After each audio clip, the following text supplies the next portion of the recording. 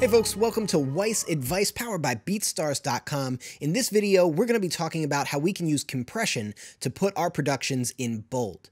Before I get started, I need to give a special shout out to Tuna Beats for letting me use this record to demonstrate these ideas. You can check that out right with this link. He's a great producer.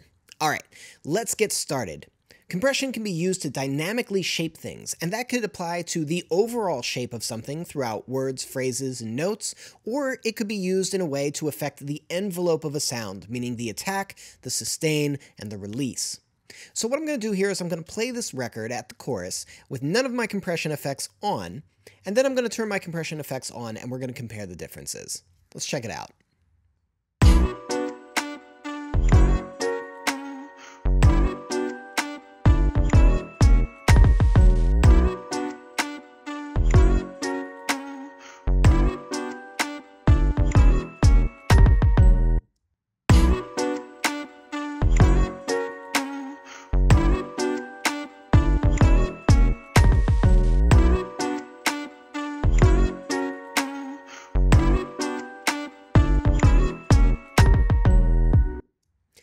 Cool, right? It's like nothing really changed, but everything changed. And that's because we're reshaping our sounds to fit them in exactly the way that we want. Now, there are three main purposes that we're going to reach for a compressor.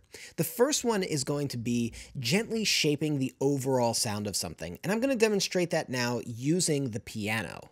I'm going to take the compressor off, solo the piano up, and what I want you to really listen for is the turnaround, meaning those last notes at the end of four bars where the scale moves in a downward pattern.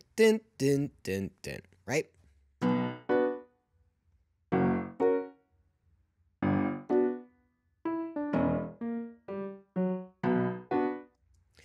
Each one of these notes is played in a very honest and live way. This is clearly tracked in just with the natural velocity of the player playing the keyboard. It sounds pretty good, but it would be good if maybe we evened out each note, specifically those last four notes in that scale, so that the end listener really can hear the melodic movement. That turnaround, that scale at the end, is going to be what brings the listener into the next phrase, and it's going to be what moves the production forward and makes the listener want to keep listening. So I think it's important that we even that out a bit. Now, when we're approaching this, generally our mindset should be slow, gentle compression. So right away, I'm thinking medium to slow release times, medium to slow attack times, light ratios, softer knees. Let's break down that idea. So I'm going to pull up a compressor. I'm going to do this in real time. My end results might not be exactly the same as what I got when I was doing this beforehand, but we're just going to find out. All right, here's how I like to generally set things up. I'm going to put the ratio pretty high. And the reason why I'm doing this is because I really want to hear the compression action, and then I can contour my attack time, my release time, and my knee specifically to make that action feel right. Once I make it feel right, then I can back off the ratio to something a lot gentler, and I'll still have the same basic compression action, but it's not going to be as pronounced. The next thing that I'm going to do is I'm going to approximate my settings. I think my release time at around 200 milliseconds, probably a good starting place, just because I know I'm going for that medium release. I want it to be slow enough that it's not reshaping the envelope of the sound, but I want it to be fast enough so that we can get our gain back up in time for the next note to be played. So I can't go too fast and I can't go too slow. For my attack time, I know I'm going to want to be in the medium to slower range, so I'm going to start at about 50 milliseconds. That's probably on the faster side of medium. It's going to depend on the instruments, but for transient heavy instruments, which this piano is, then we're pretty much in the medium range there. And from there, I'm going to start adjusting the threshold. And what I'm going to listen for is where the compression really starts to kick in.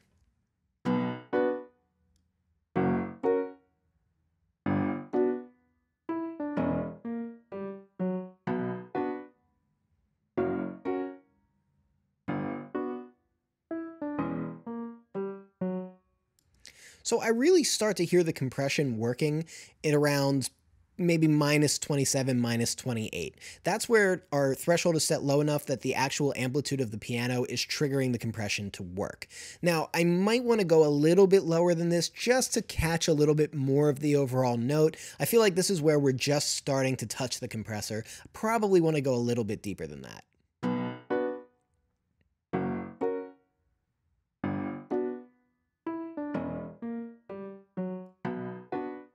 And you hear once I get down to about minus 33, we have compression over basically every note. It's pretty heavy, it's pretty marked, so I think we've gone too far at minus 33. So there's going to be a sweet spot between minus 27, minus 33, and in that range, it's subjective. It's a matter of taste.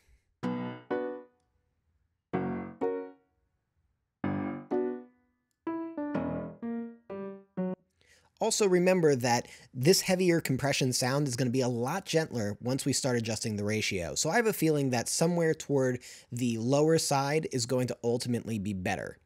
All right, now let's listen to the way things are shaped.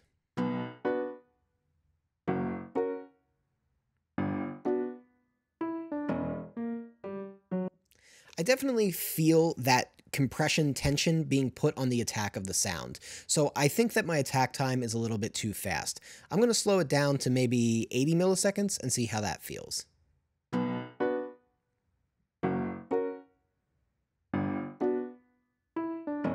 That feels a lot better to me. I feel like I'm hearing all of the strings of the piano, the hammer action of the piano come through the way a piano is supposed to sound, and it sounds a lot less affected. I'm going to make it 50 milliseconds again so we can hear it. Now back up to 80.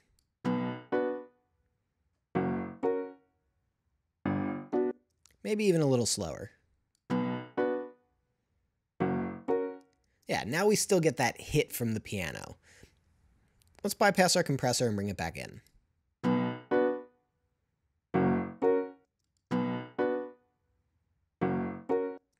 So the attack to me sounds like, although the overall signal is lower, the attack to me sounds pretty preserved at this point. It feels like it's about right. I still hear a lot of the compression action, and I think that that's because of the knee setting. Right now, there's a hard knee. And generally speaking, the harder the knee, the more aggressive the compression sound is going to be. So I think if we move to a medium knee or a soft knee, we're going to get a much more homogeneous compression tone, and we're going to notice it kick in a little bit less. Let's try a soft knee.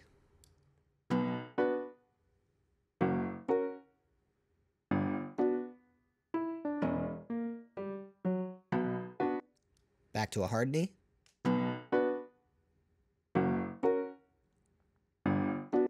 You hear how that attack has this very edgy kind of equality to it with the hard knee, and the overall signal feels compressed with the soft knee, but we don't have that edginess to the attack when we use the soft.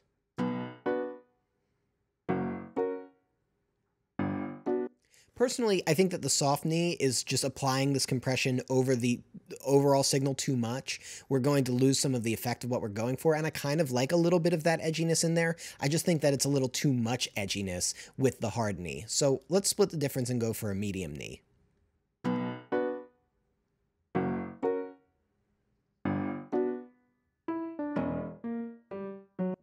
that's starting to sound pretty good. The only other thing that I'm thinking is a little bit off is I feel like I'm hearing some of the reverb from the piano come up just a little bit that's not always going to be a bad thing. Sometimes that's exactly what we want, particularly with an acoustic sounding instrument.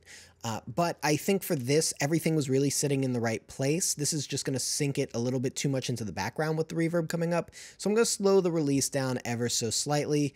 Uh, release time intervals tend to be more um, tend to be less dramatic than attack time intervals, so 100 milliseconds on a release is really not the same as what 100 milliseconds does on an attack. So let's try 300 milliseconds and see how that feels.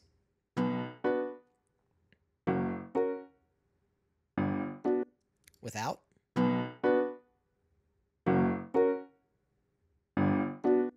With.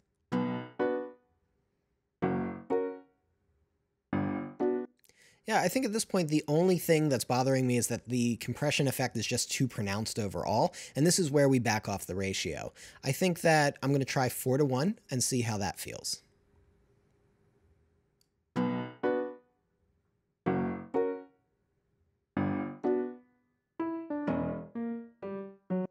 Maybe even just a hair less.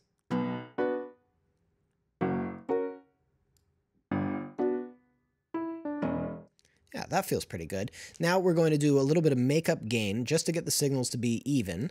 So let's hear how it sounds beforehand. And then with.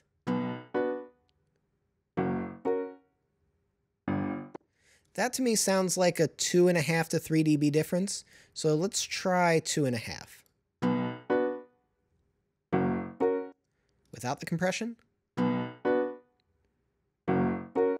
With. Uh, maybe just a little bit more makeup gain. Before.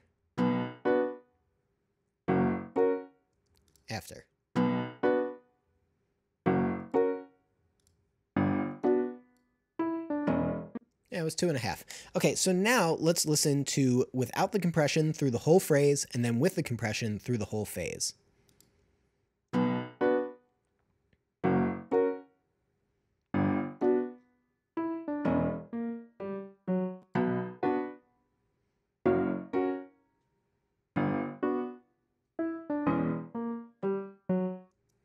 I think I just want to slow the attack down a little bit more. I'm hearing a little too much runoff.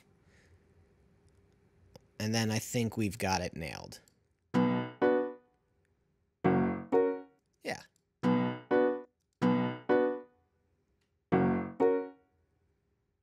If I quickly A-B them, you'll hear that the actual contouring of the piano, the way that it feels and the way that it hits, is almost identical.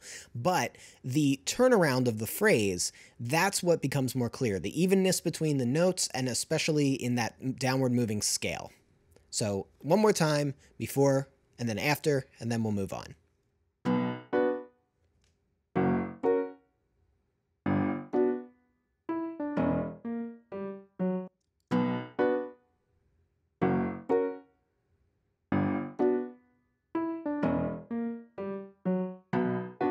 Perfect. So the recap of that is we're looking to approach things gently. I've got a pretty slow attack time here at 100 milliseconds. I've got a pretty slow attack time here at 300 milliseconds. I'm using a pretty light ratio, 3 to 1. Uh, I'm not doing a whole lot of gain reduction total. Took only 2.5 dB to kind of even things out. And I'm using a medium knee. So we're looking for subtler effect here. And this is just going to gently bring everything together. Now, for a more pronounced effect, we might want to reshape the internal envelope of a sound. So let's talk about that. Now I'm going to demonstrate how we can use compression in a way that we can't really use volume automation, and that's to reshape the envelope of a sound. Now that sounds a little jargony, but to put in more musical terms, this is how we make our drums or our pluck synths or things that have uh, heavy transient information either fatter or punchier. And in this particular case, we're going to go for the snare and snap combination, and we're going to look to make it a little bit fuller. So let's listen to a before and after with some compression and start to really understand the difference.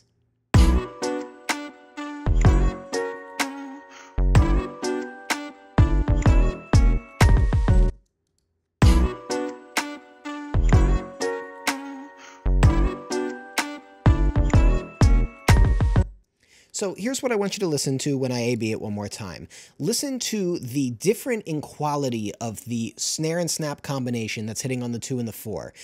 The first version without compression is going to sound open. It's going to sound natural. And sometimes that's exactly what we want. However, with the compressed version, we're going to hear more of the texture of the snap and the snare, and we're going to hear a little bit more of the air that comes off of the back end of it, the kind of reverby quality that isn't quite reverb, that just lingers on in the sustain and release of the sound. All right, let's listen again.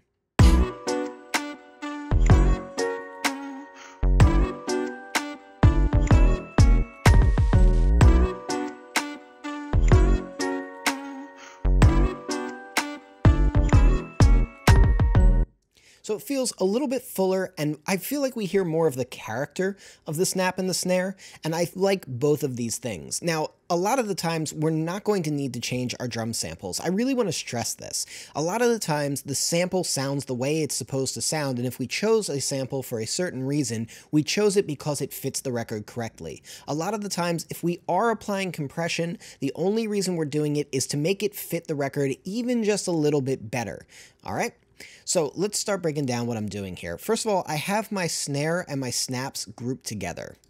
So I have my snaps, my snare, and my third uh, snap right over here, and they're all coming to one bus. So I'm affecting all of the things that hit together at the same time to help create this effect.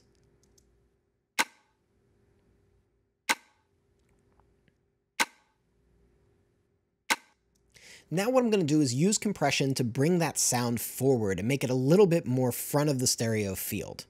All right, let's check this out. I'm going to pull up a compressor. And let's take a look at what we're really trying to do. We know that we're going to be affecting the envelope of a very fast moving drum. Snaps and snares are pretty quick, so we're going to start with very fast attack times and release times. In fact, I'm going to start them at 0 milliseconds and 1 millisecond. That's as fast as this can possibly go, and it is going to sound terrible, but this is just a starting point so that we can start to figure out what we really need. Now I'm going to turn the ratio up I'm going to turn it up to 10 to 1. I always like to do it in an exaggerated way. But the thing with this is because we're talking about a snap and a snare and we're looking to really just tighten up the way the body is living relative to the attack, we might actually keep the ratio pretty high. And lastly, for the knee, pretty sure we're going to want to keep a hard knee because this is supposed to be an aggressive sound. All right, so let's begin by finding that point in the threshold where we really affect the snap and the snare.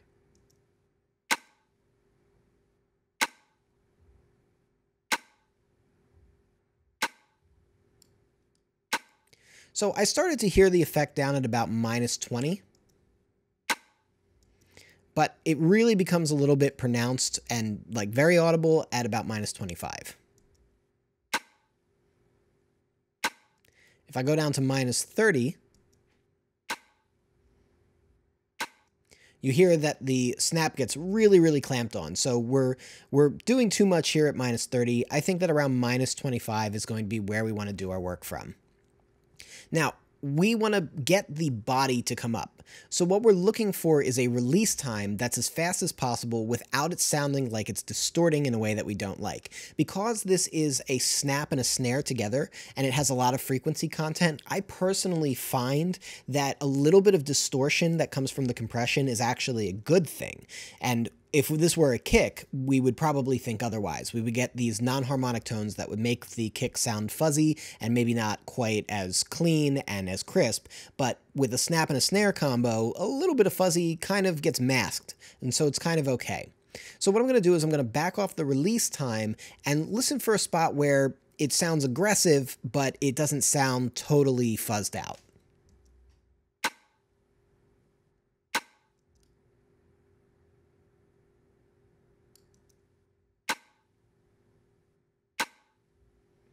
I kind of like 10 milliseconds. I feel like I can hear that release from the compressor pretty clearly, and that's kind of what I'm looking to bring out, that air that's around the snap. If I turn this down to minus 30 on the threshold, we'll hear that the release becomes a lot more pronounced.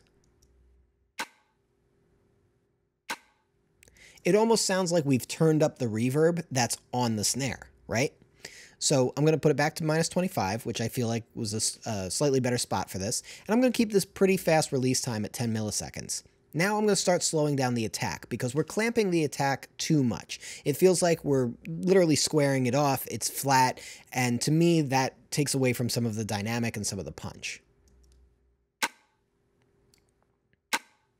But you'll notice I don't have to turn the attack time very, very slow at all for a lot of that attack to come right back. Listen to the difference between 0 milliseconds and 4 milliseconds.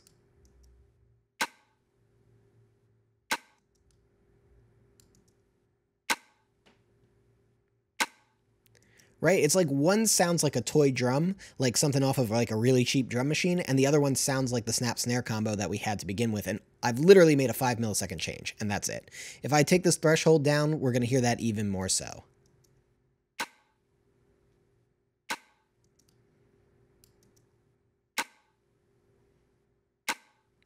Pretty big difference. So let's go back up here to 25. And I think I want to slow the attack down ever so slightly more. Maybe let's try 7 milliseconds because I do want a good snap to come through. Nice.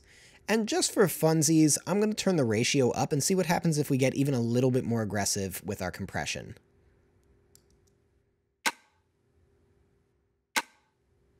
Okay, I feel like the snap starts to dull out, but somewhere between 10 and 12 I think is going to be about where we want to be.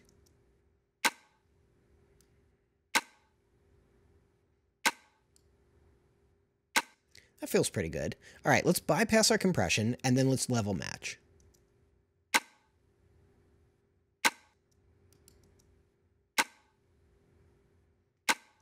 They actually sound pretty close to level matched. I think there's maybe about a 1 dB, 1.5 dB difference, something like that.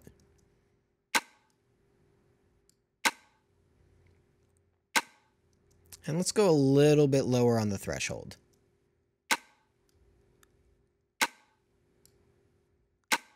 There we go. Now I'm starting to really feel like I'm hearing the reverb off of the tail of the snare.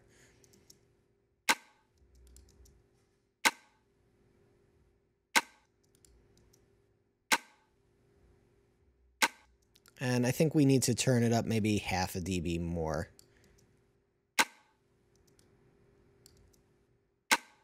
There we go.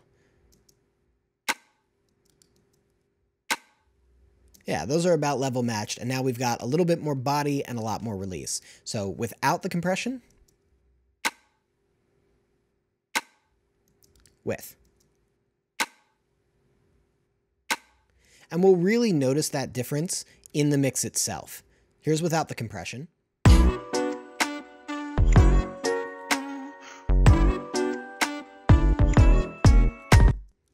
Here's with.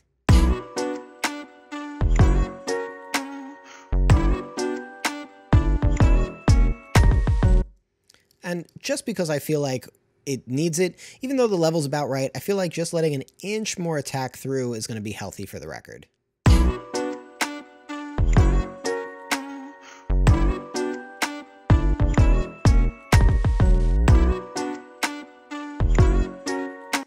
Great, so now we have more body to the snare. Now let's flip on over to the kick here. Let's do a before our compression and then an after with our compression. All right, here's before.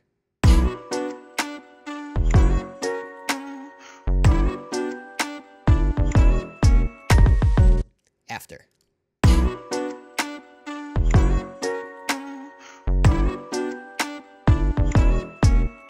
You should have felt that difference right from the very first hit. Before,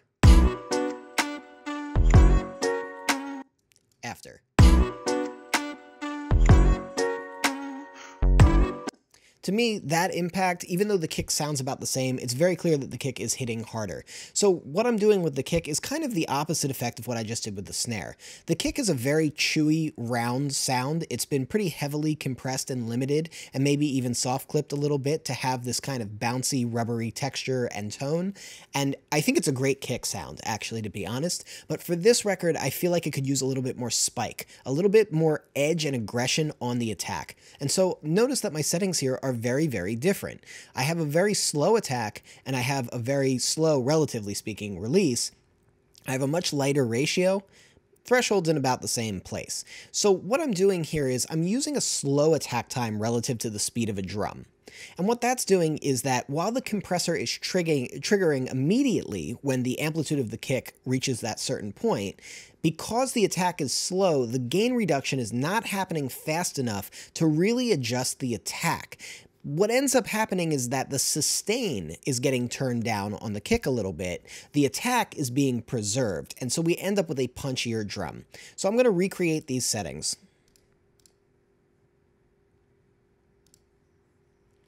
All right, same idea here. I'm going to turn the ratio up so that we can really hear the compression action. And I'm going to start from my default assumptions, which is going to be a, a slow attack, which for a drum, probably around 50 milliseconds where we start in the slow realm. I know I'm going to be slower than that, so I'm going to start at 75.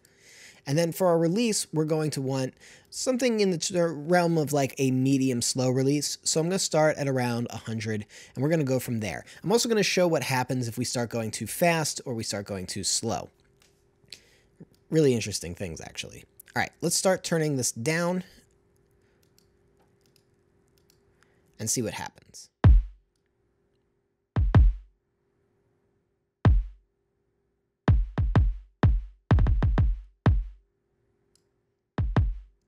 It's hard to hear an effect. I'm going to speed up the attack quite a bit and speed up the release quite a bit so that we can really hear where exactly the drum is triggering the compressor.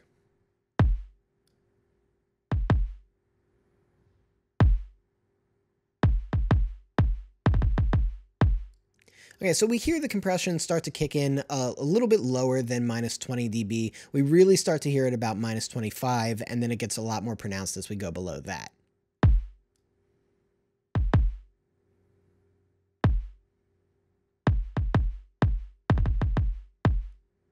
So we're going to be in this range somewhere. Now, what becomes interesting here is the way the timing controls start to interact with the drum. For example, the slower the release goes, the less sustain I'm going to have. This is because gain reduction is being applied too slowly for the sustain to replenish itself. Watch what happens if I turn the release to about 400 milliseconds.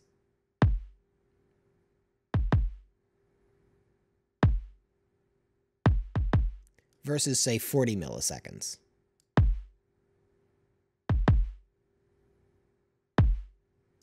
You notice that that low tone, that, that sub thump, is there when we have it at 40 milliseconds, but it really goes away quite a bit when we have it at 400.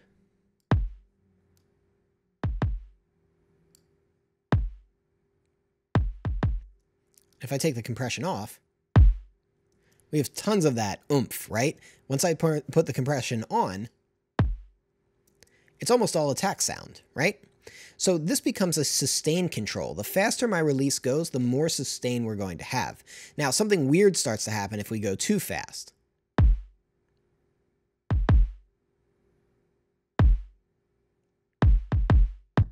We start to get this very strange tone, especially if we have a fast attack as well. Starts to sound broken up and clipped and weird. That's because we're getting intermodulation distortion. We've made the release so fast and the attack so fast that we're actually doing dynamic change within the waveform itself and creating harmonic distortion, and it sounds like crud. Or maybe it's exactly what we want because we're doing something weird and experimental. It's all subjective, but this is not what we're going for this time. So I'm going to slow the release time down and get rid of that crunch.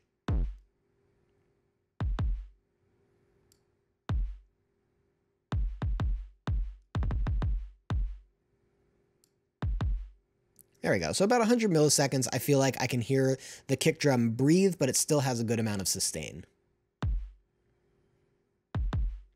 But what we really want is the attack, and this is where things are going to get more interesting.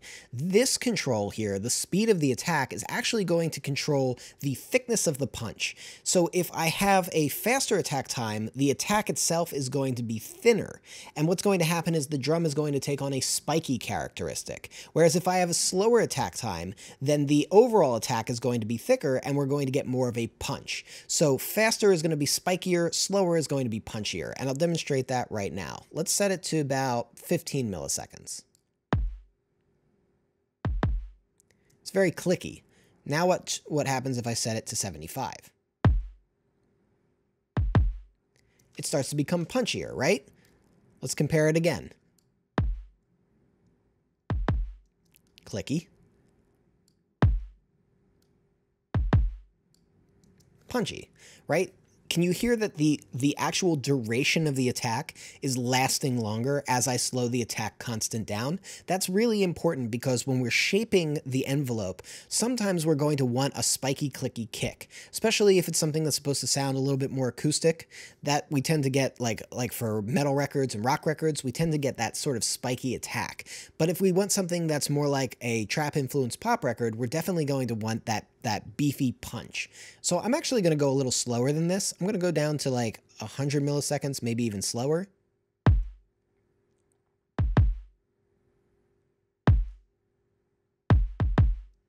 And I feel like we've gotten into a pretty good range here.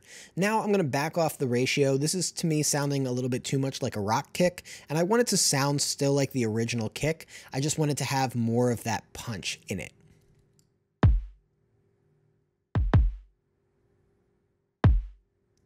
So let's bypass the compression. Bring it back in.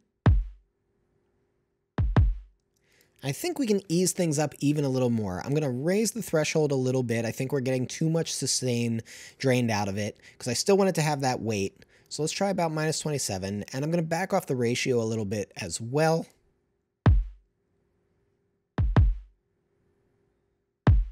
I'm going to go a little faster on the release and a little slower on the attack. And let's do a little makeup gain as well, just so it's about level match. Sounded like it was about 2 dB down. Maybe even a little more. There we go. Before. After. And here we hear more punch and less sustain.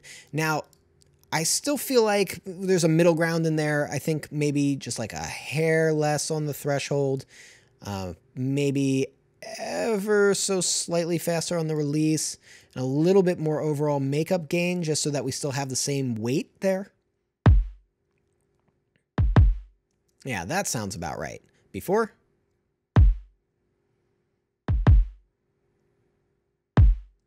After.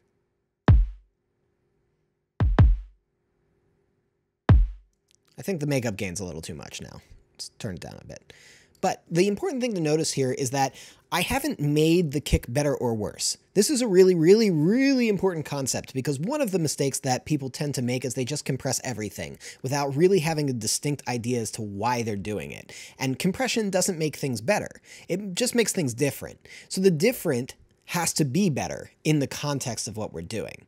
If I take this compression off, we get this really beefy round kick. It sounds fantastic. If I put the compression on, we get this punchy, tighter kick sound. They both sound good, it really just depends on what we want from the record. So we always have to go back to context. Here's the kick without the compression we just did.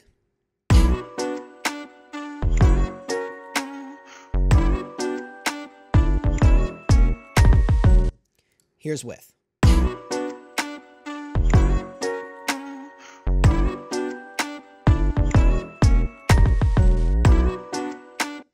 Personally, I like that punchier, tighter kick for what we're doing. It leaves a little bit more openness in the record overall, and it smacks you in the face a little bit harder, which I think is what the intention of this is.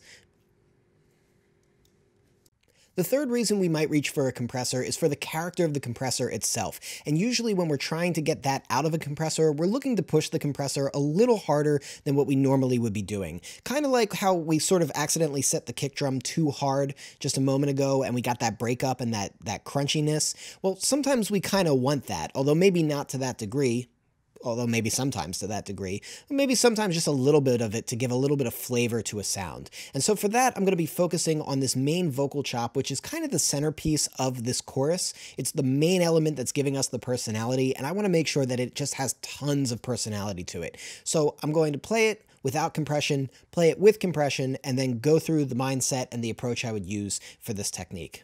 Let's check it out.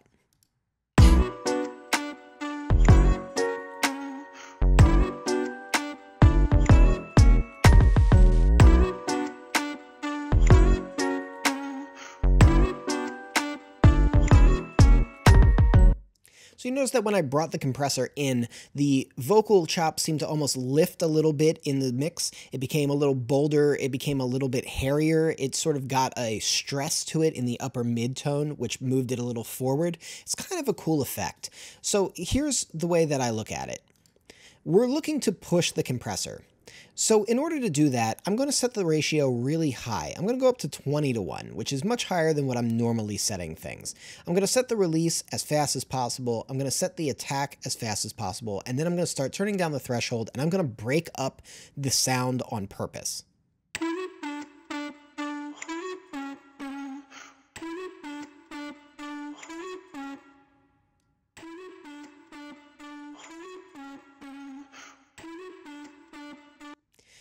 Doesn't that have an interesting sound actually? It brings up the reverb in an interesting way. It fuzzes things in an interesting way.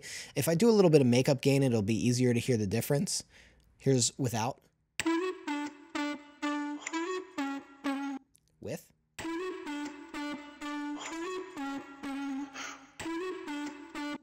Right? We're hearing all sorts of gnarly things. It's almost like it's being put through a guitar amp. It's kind of weird.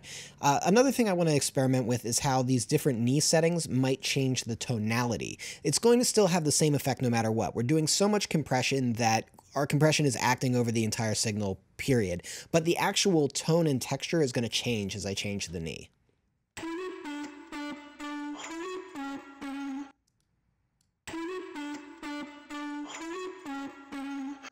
To me, that feels a little less broken up when I set it to medium.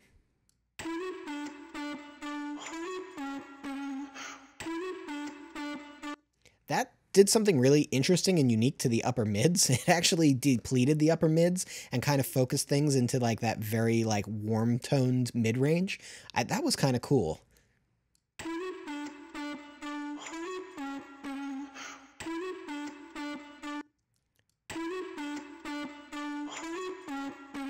Hard knees really edgy. Soft knee is a slightly more flattering, warmer distortion that I'm getting. So it really just depends on kind of what I want. I'm sort of really interested in this vintage setting and how that sounded.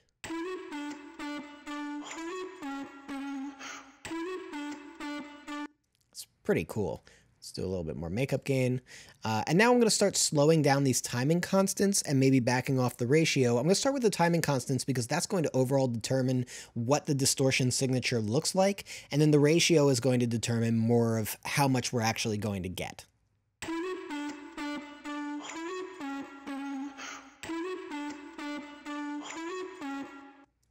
Okay, 20 milliseconds, I still feel like I hear a little bit of that distortion characteristic, but it's less obviously broken up. Let's uh, slow the attack down a little bit as well.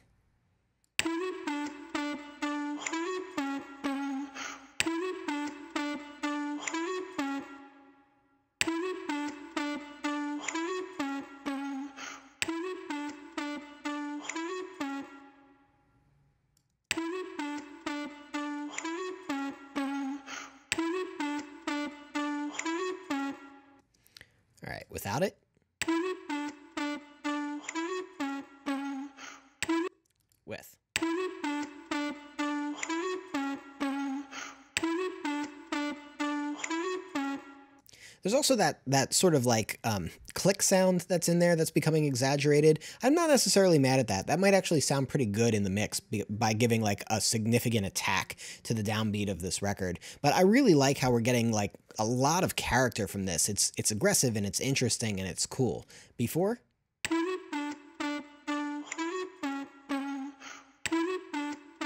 Sounds really good. There's already a really cool characteristic from the distortion that's been placed on there. Here's the after.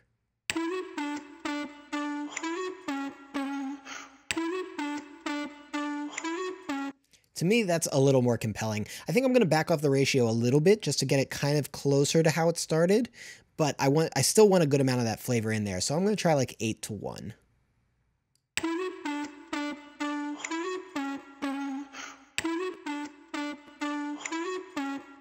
Yeah, nice.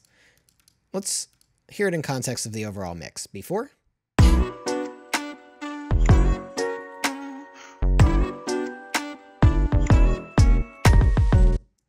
After.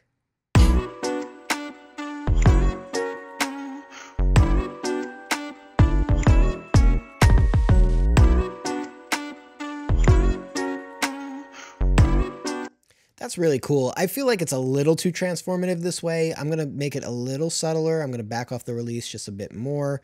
I'm going to back off the attack just a little bit more and turn the threshold up ever so slightly.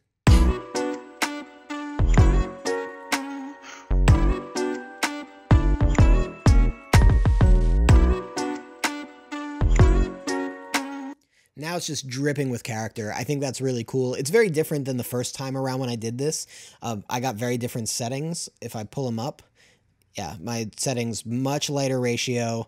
I had the release super fast. I kept it at like one millisecond, but I'm using a much lighter ratio. So proportionately, it's more distortion. It's like it's it's a more aggressive distortion, but less of it. And I'm using a slightly higher threshold. So we're gonna get a pretty different character that way.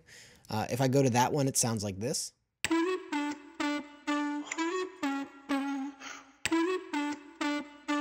Versus what I just came up with, which is this.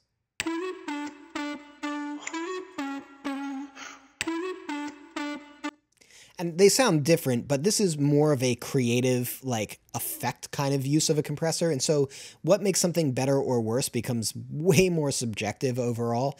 Um, I probably like the first way that I did it because it's a little closer to what the producer originally intended.